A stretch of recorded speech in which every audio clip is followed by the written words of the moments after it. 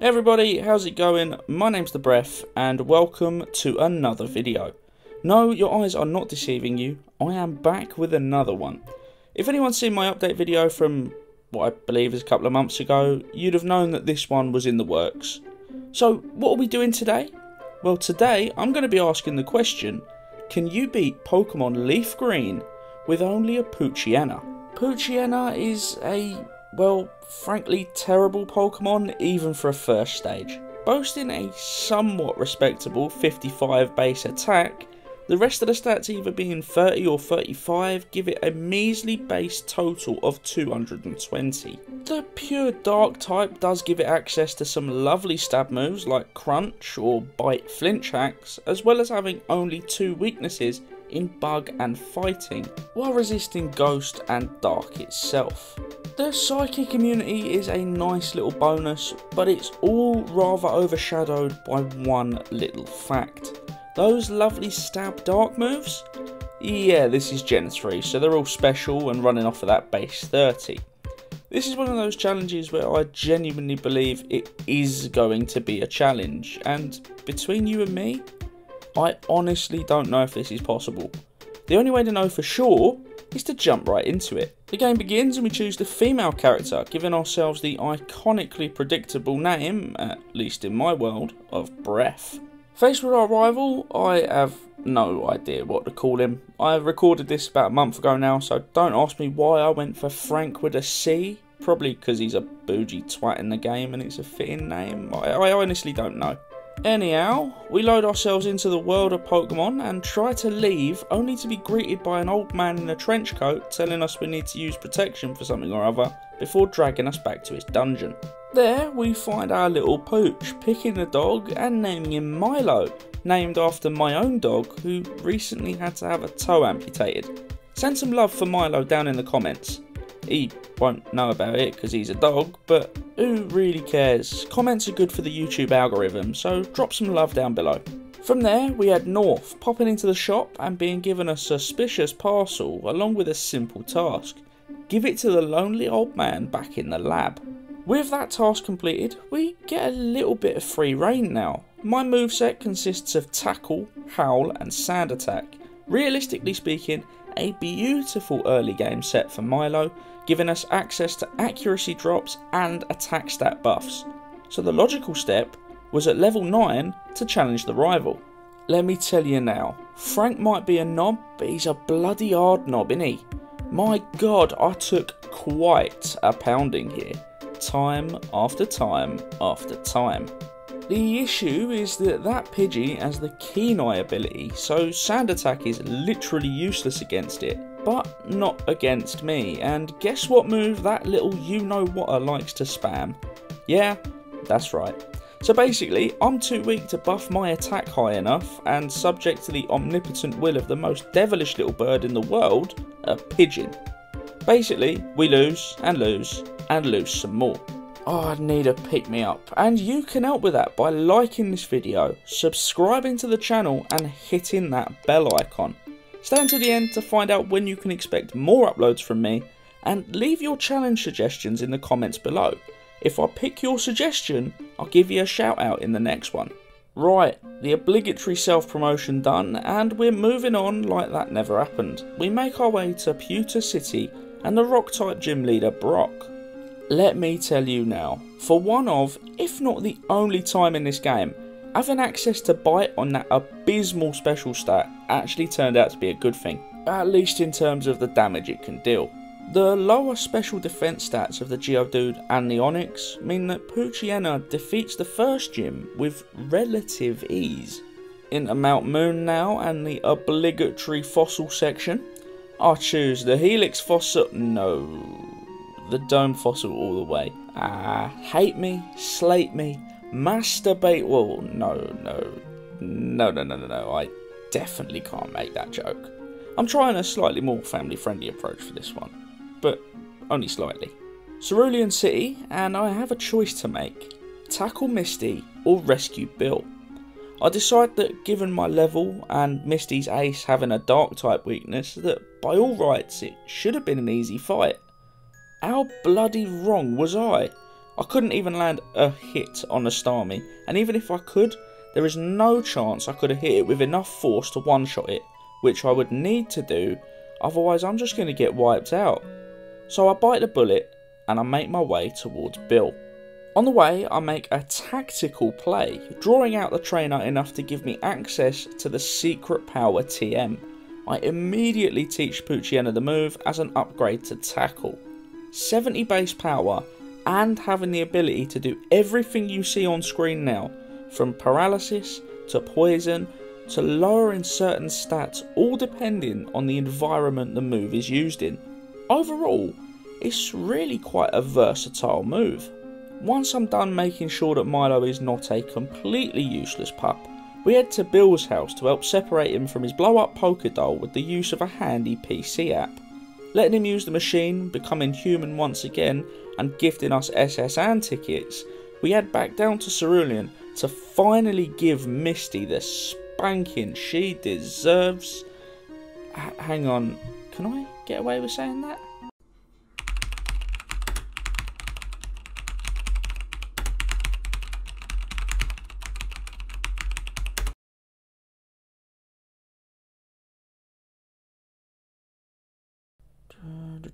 What's this say? Perpetually. I'm getting the word. Nonce. Yeah, I remade the clip from ages ago just because I wanted to deal with it. Misty wasn't difficult. We get the Starmie without taking any damage and one shot it with bite.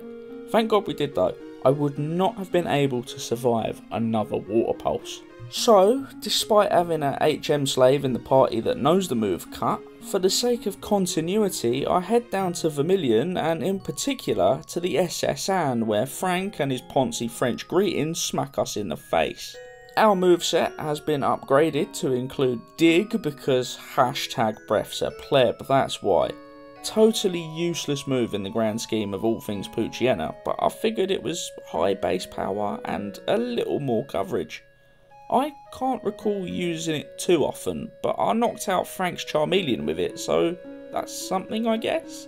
Once he's dispatched, we head up to the captain's room where we see him, back turned, right arm moving vigorously in the direction of a waste paper basket full of scrunched up tissues. We approach and give him the old breathy special until it's all over, and he rewards us with the HM for cut and sends us on our way.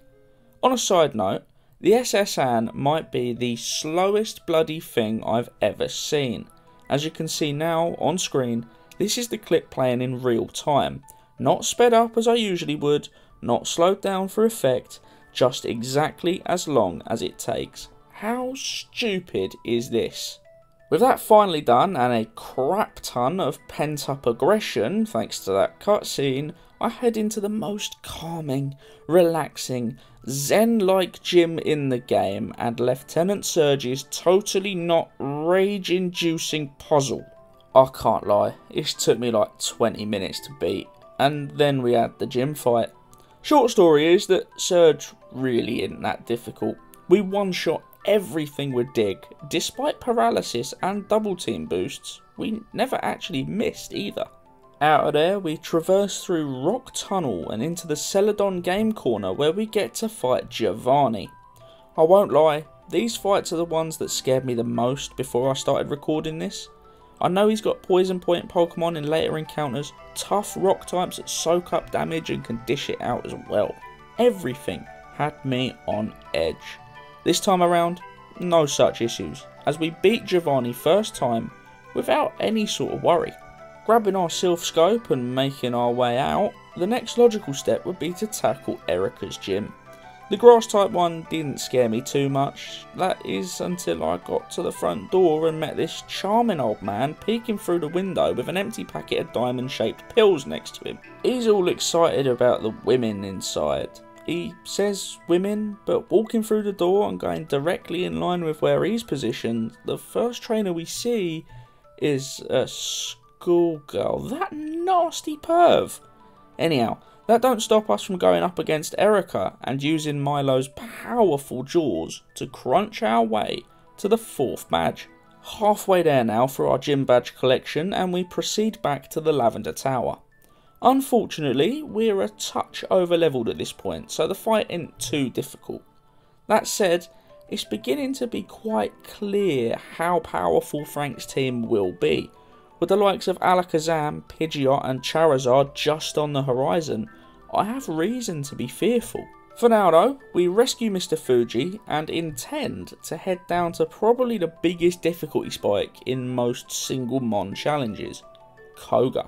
Koga has a handful of very nasty tricks up his sleeve. Everything on his team has the ability to poison us with Toxic, a move that never misses when used on a poison type Pokemon, and guess what gym we're in? On top of that, Sludge is a horrific move to be hit by, and those Koffing love to spam it. Three of the four Pokemon have Levitate as an ability, and the Muk can use a combination of Minimize and Acid Armor to really negate the effectiveness of our dig. All of that made me realise I genuinely don't think I can beat him now. Truly. So I take the easy way out and I don't even try. Instead, I head to Saffron and into the company tower to take on the rival once again. It's been a total of what, like five, six trainers max between our encounters and less than five minutes in time, but my god, has Frank become a huge bloody pain. At level 46, we can barely even get past the Pidgeot, let alone the rest of the squad. I have officially become cuckolded by a damn video game. I need another way to boost my happiness. So, the number 46 is fitting here. It means a lot to me. It's probably the number I've had the most interaction with in my life, and I actually chose to wear it as the number on the back of my football shirt once upon a time. The first person to correctly guess the reason why I love the number 46 so much down in the comments gets a shout out in the next video. Cool, ain't you lot lucky? I'm giving away shout outs in this one like a cheerleader giving away her virginity on prom night, just slinging them about left, right, and centre and hoping someone will take it. Anyway, focusing back on the game, and cue the non-existent training montage. We run around the map, defeating a huge number of the remaining trainers, until we reach a ridiculous level of 59 before challenging Koga's gym. Don't be mistaken here, I needed those levels, all of those levels. I need to be able to effectively one-shot the entire gym, otherwise I run a serious risk of getting toxic. One of those basically guarantees a reset under challenge run rules, so I need to avoid it at all costs. Dig on Muk is amazing and Crunch, well, pretty much sweeps the rest of the team. Context, however, is that Sludge from Weezing is still a 3 hit KO, despite being what, 20 levels higher? So those levels were definitely needed, as I said. And if you thought the spike was over, think again. As it turned out, Koga was a sorbet to clear the bloody palette of difficulty. Wherever I turn next, I'm gonna be in the weeds. Blaine is the obvious choice, but Rapidash and Arcanine with Fire Blast is an absolutely terrifying combination on paper. And even at level 60, I don't know if I can beat the rival. It's like sharing a bed with two perverts on Viagra. Whichever way I face, I'm getting screwed. I decide on rival. Once I'm past that point, I get Sabrina's Psychic Gym with a nice boost to XP with absolutely zero risk. I figured that Blaine would be harder to deal with than the rival, but if I'm being honest, I ain't so sure. I really am beginning to hate this challenge at this point. Mightyena is one of my favourite Gen 3 Pokemon, despite the lack of physical special split, and I always knew that Poochyena was bad, but you really don't quite get just how bad until it's literally the only option you have. Between getting shafted by pretty much the entire team speed-wise, to getting dropped attack with Intimidate, to being nowhere near capable of tanking a flamethrower from Charizard, Frank is officially a massive pain in my ass.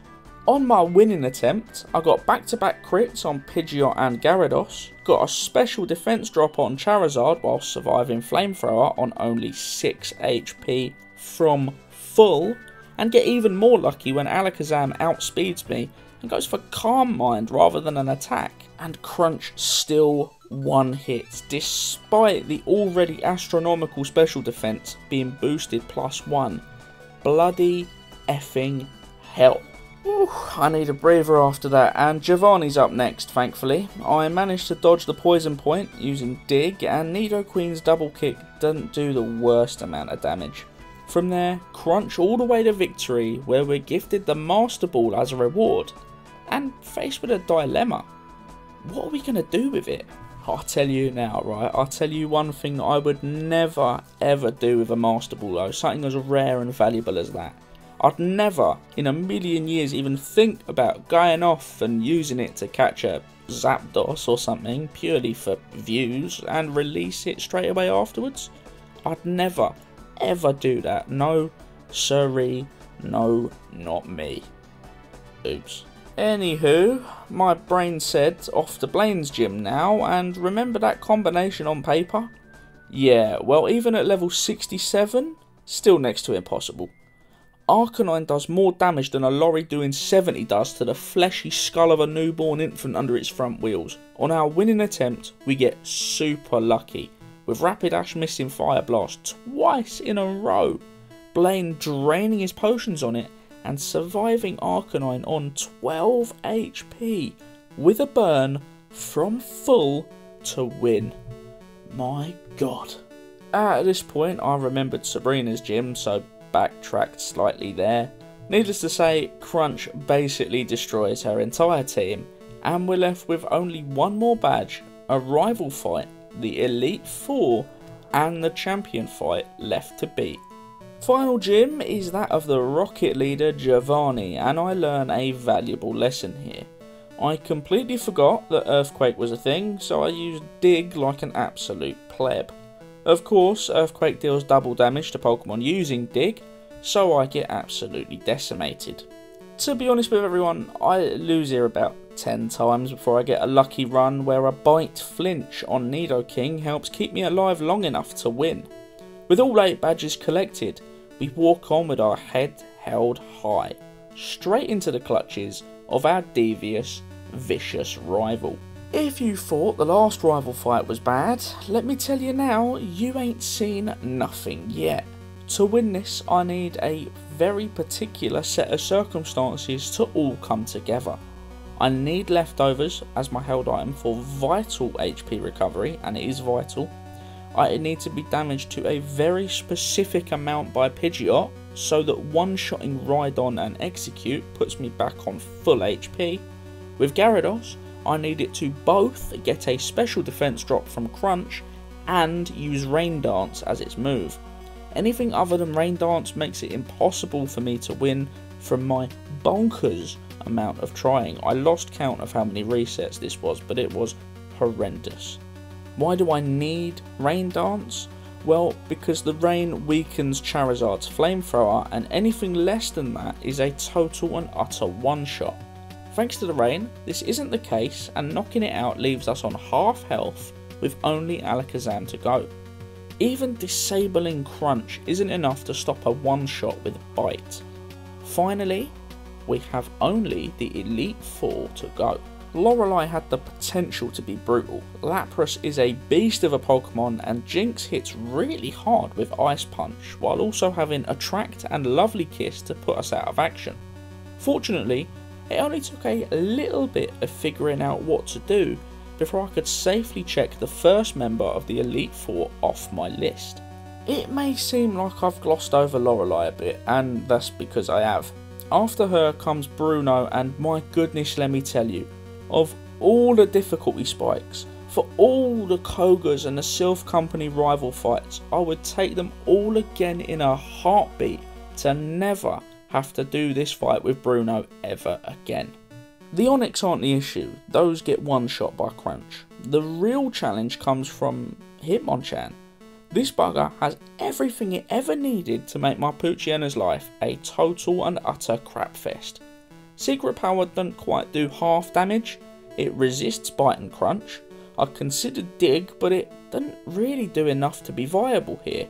Hitmonchan has Rock Tomb, one hit of which lowers our speed enough for it to outspeed us, and it loves to combine that with a brutal Sky Uppercut to knock us out from full health. Even if it doesn't, it knows Mach Punch to attack first the next turn and ensure that we can't proceed. I mean, I'm the best part of 30 levels higher here, and I can barely make a dent into his team. So I don't have a choice. I take the L, and I have to use my brain a little bit. I'm looking for a move. I need one that draws from my physical attack so I can make use of my highest stat and Hitmonchan's lowest defensive one. Ideally that move would come with a defense drop of some kind to make sure that my other moves are somewhat viable, and ideally one that can be used effectively in the upcoming fights as well. So racking my brain for a minute, I realised there was really only one option. I rush over to Celadon, collect a coin case, and top myself with enough coins to buy and teach TM Shadow Ball to Poochyena. Ghost is neutral to fighting and in Gen 3 draws from the physical attack stat of the user. On top of that, it comes with the added effect of being able to lower the opponent's special defense stat by one stage. Not overly useful, but it does mean that Crunch can come into play later on and even our bite attempts for flinch hacks now chip away a little bit more. With that in hand, I head back to Bruno and try again. Immediately, I race through to Hitmonchan, unleash our Shadow Ball doing more damage than I had before, and immediately getting ended by a Sky Uppercut. Great. Just when I thought I was making progress. Essentially, this fight now comes down to either pure hard luck or pure hard grinding. So yet again I scamper away and grind to a nice level of 84, now over 30 levels up, and try to go again. But before then let me give you all some context. I'm going to show you now the Poochyena that I've been working with for this entire playthrough. Quiet nature, so special attack up, speed stat down, with perfect IVs in every stat except for health, and I've EV trained it 6 in health, 126 attack, 126 speed, and 252 special attack. I've built the most well-rounded, best placed Poochyena to beat this game, to beat Bruno.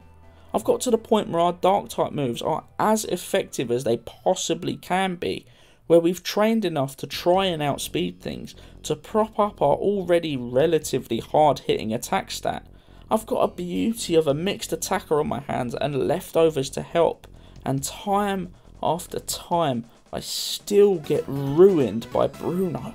I have, no word of a lie, 37 rounded minutes of footage just on this fight, which granted doesn't sound like a lot until you remember that I play the game at 20 times speed to record quicker.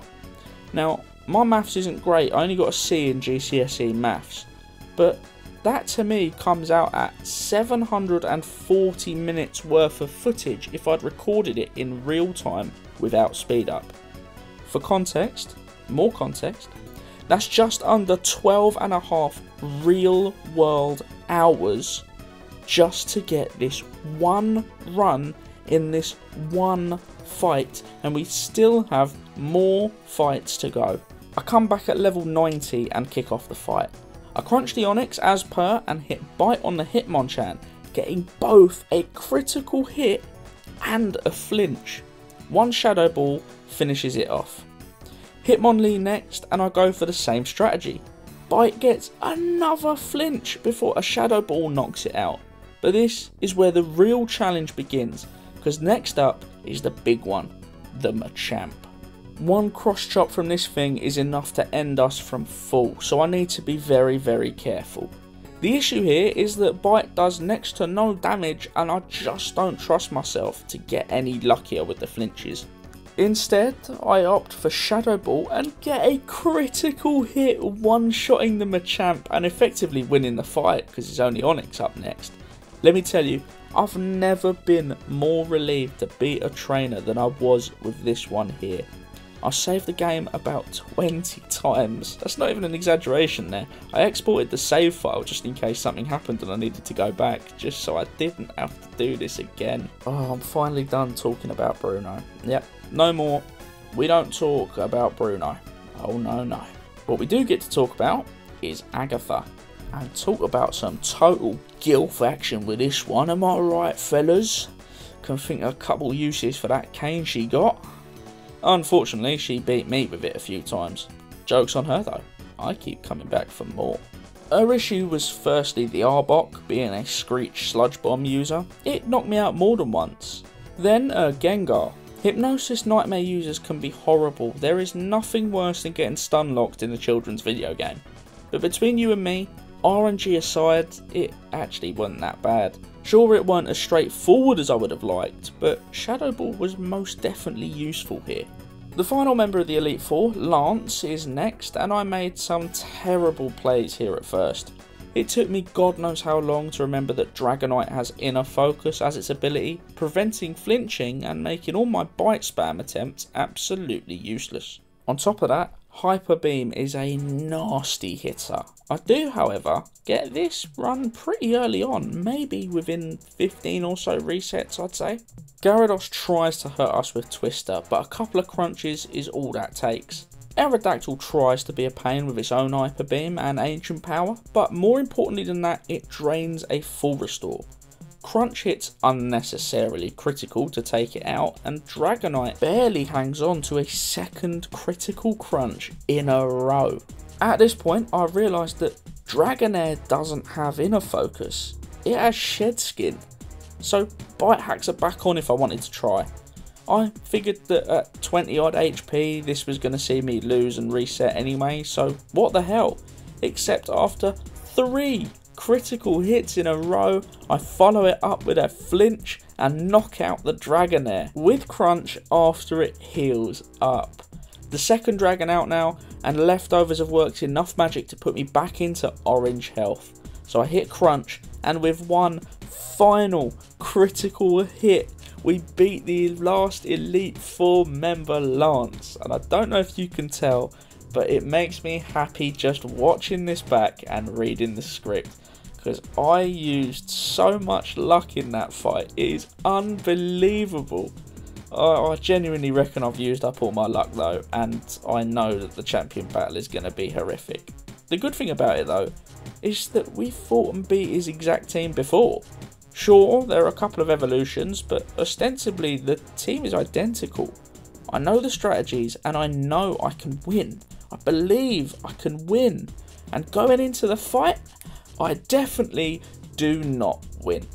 The problem for this fight is that I'm outsped by Pidgeot and Aerial Ace can never miss, hitting decently damage wise. It is a 2 hit KO with Crunch, even managing to drain a full restore in the process. Alakazam sets up Reflect but goes down to a single crunch, bringing out Rhydon. I opt for Bite and get a lucky flinch, putting it into full restore range. A crunch and another bite knock it out, and Exeggutor comes into the fray. I'm not scared, as a single crunch is a one shot to tee up the showdown with Gyarados. Again, I'm not frightened of it, so I opt for Bite, not even for the flinch that we do get, but because I thought then Bite and Crunch would be enough to knock it out. It only spams Dragon Rage anyway, but we didn't knock it out. We go back and forth for a bit, with full restores, crunches, Dragon Rages all being exchanged, but the thing goes down eventually and Charizard is all that stands before me. But the unthinkable happens. I am outsped by Charizard, and Fire Blast knocks me out. Oh my god, I was so close but I genuinely did not know if it was possible. We're level 93. We are we've only got 7 levels to play with and regardless of that, Milo has some of the worst stats out there. But for what it's worth though, I've reconsidered my position. Fire Blast only has 85% accuracy and I've proved that I can get to the Charizard. That was it. I knew I could do it. All I needed was a little bit of luck a little bit of missing and crunching to land hard. I knew I could do it. I was reinvigorated and I stepped back in. Pidgeot emerges first, and just like last time, Crunch isn't enough, drawing a full restore and it's spamming Aerial Ace. Alakazam goes down to a single crunch as per usual, and the Rhydon is next. Big Bertha over here flinches to bite and goes down to the second. Exeggutor next, and a single crunch is enough to bring out Gyarados. I spam Bite, but I get no flinches, getting it into full restore range before hitting a double crunch to KO combo. At long last, it's me and the Charizard. I'm sitting there and I'm thinking, all I need is a miss. One miss. And I get it. But Crunch only does half health and a Sitrus Berry boosts it back up. I'm in serious trouble now. It goes for Fire Blast and misses the second one in a row. Crunch gets it down low, but it's only to red. I can't believe it. What are the odds that Charizard will miss three Fire Blasts in a row? Well, it gets a full restore and we hit Crunch, so it doesn't really change the outcome. I only need one more miss. And I get it. Knocking out the Charizard and finally beating the champion and this challenge. Milo, named after my own dog, has conquered the Pokemon League as a little runt. After the fight, I do the only noble thing. I allow Milo to evolve into Mightyena as he's wanted to do for so long. And if you ask me, I think he deserves it. With that, my Mightyena Milo enters the Hall of Fame, and this one is challenge complete. Oh my god, people, you really have no idea how brutal this was. Most single Pokemon challenges are possible, and it's rare to come across one that genuinely seems impossible. But at so many points in this run, I honestly believed I wasn't going to be able to do it. The sheer relief of being able to prove myself wrong is one of the best feelings out there, and I hope that has come across in the way that I've spoken about this challenge and recorded this script because even reading it back and looking at the footage reminds me just how fulfilling completing this challenge was. Anyway everyone, thank you all so much for watching. I really do appreciate the time you give to watching these videos. Look, as I said earlier in the video, stay to the end and I'll tell you. The plan is that life is a bit crazy and so I'm only planning to make and release one video every month to be released on the first, like today. Please leave your challenge suggestions in the comments. Like I said, if I pick your challenge, I'll give you a shout out in the next video. Check out the Discord channel, link is in the description, and get involved with the community, get involved with the Brephish Empire. And with that, I wish you all well, and I look forward to seeing all of you, and hopefully some more, in the next one.